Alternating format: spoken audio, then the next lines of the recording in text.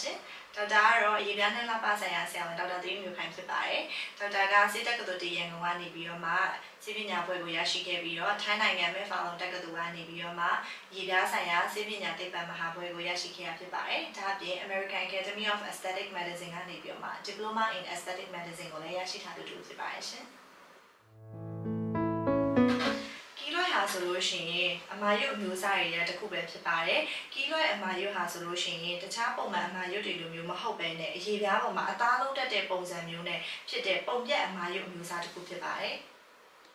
ဟောကီလိုက်ကိုဘယ်လိုသိနိုင်လဲဆိုလို့ရှိရင်ဒီကီလိုက်အမာယူရဲ့မျက်နှာပြင်ကပြောင်တင်းပြီးတော့မှချောချောလေးဖြစ်နေတယ်ပြီးတော့ तू ကတခု တခြားမာယူနဲ့မတူတာဘာလဲဆိုတော့ရတဲ့ဒဏ်ရာထက်ကိုပို့ပြီးတော့ကြီးတဲ့အရွယ်စားကြီးတဲ့အမာယူအနေနဲ့ဖြစ်လာပါတယ်ပြီးတော့သူ့ရဲ့အရာဝါဆိုလို့ရှိရင်ကိုယ့်ရဲ့အသားအရောင်ထက်နည်းနည်းလေးပို့ပြီးတော့မှရင့်နေတတ်တယ်ဒါပေမဲ့တခြားတချို့ patient တွေမှာဆိုလို့ရှိရင်တော့အသားအရောင်အတိုင်းအလုံးလိုမျိုးလည်းဖြစ်နိုင်တယ်ပန်းရောင်ပုံစံမျိုးလည်းရှိနေတတ်ပါတယ်ပြီးတော့ तू ဟာရာတတ်ပါတယ်ရာလို့ရှိရင်ပေါ့နော်လူတွေကကုတ်ရင်းနဲ့ပဲအဲ့လိုမျိုးသူ့ကိုပိုဆွတယ်လို့ဖြစ်ပြီးတော့မှစိုက်ကတဖြည်းဖြည်းကြီးလာပါတယ်အဲပြီးတော့တစ်ခါတလေကြာလို့ရှိရင်လည်းနာတာမျိုးခံစားနိုင်ပါတယ်ရှင်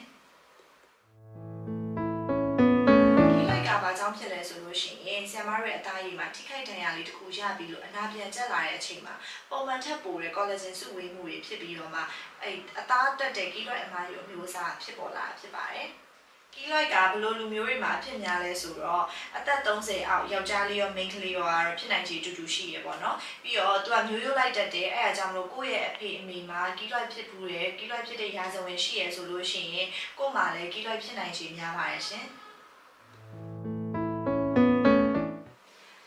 တော့ကီလိုက်ကဘယ်လိုနေရာမှာအများဆုံးတွေ့ရလဲဆိုလို့ရှိရင်ဒီ skin tension များတဲ့နေရာတွေဖြစ်တဲ့လက်မောင်းတို့ဒီပခုံးတို့ရင်ဘတ်တို့ကြောဘတ်တို့အဲ့လိုနေရာတွေမှာအများဆုံးတွေ့ရတယ်ပေါ့နော်ဒါပေမဲ့လေကိုယ့်ရဲ့အသားရည်က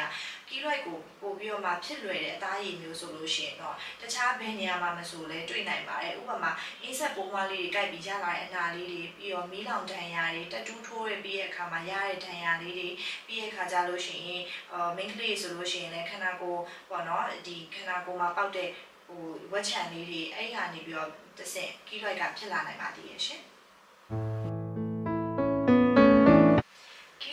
အရှင်းတော့မပြောင်းနိုင်ပါဘူးဒါပေမဲ့ကီလိုက်ကိုပို့ပြီးတော့မှသေးသွားအောင်ပို့ပြီးတော့မှဒီတန်ရှင်ကိုယော့သွားအောင်ပျော့သွားအောင်ဆင်မရာထိုးစေးတို့ပြီးရခါကြလို့ရှိရင်ဆီလီကုန်းကျဲကတ်တာမျိုးတို့ပြီးတော့ဟိုတချို့ကကြတော့ပေါ့နော်ခွဲစိတ်တယ်ဒါပေမဲ့ကီလိုက်ကိုခွဲလို့ရှိရင်အရင်အန်တီရများပါတယ်ပြန်ပြီးတော့မှအဲ့ရှီရင်ဆွဲကီလိုက်အရွယ်စားထက်ပိုပြီးကြီးတဲ့ကီလိုက်ကပိုပြီးတော့ပြန်ပြီးဖြစ်လာတတ်ပါတယ်အဲ့တော့ကီလိုက်ကိုကုသလို့ရတဲ့နည်းတွေအများကြီးထဲမှာမှာ clinic de novo မှာဆိုလို့ရှိရင်အဲဆင်မရာကီလွက်ကိုဆေးထိုးပေးတာပြီးတော့လေဆာနဲ့ကုသပေးတာပြီးလို့ရှိရင်ဆီလီကုန်းဂျယ်ကပ်ပေးတာဒါတော့ဒီကိုမှရှိရဲ့ကီလွက်အရွယ်အစားနဲ့နေရာပေါ်မှာမူတည်ပြီးတော့ဆီယမတို့ကအကောင်းဆုံးကုသမှုလေးပေးနေပါတယ်ရှင်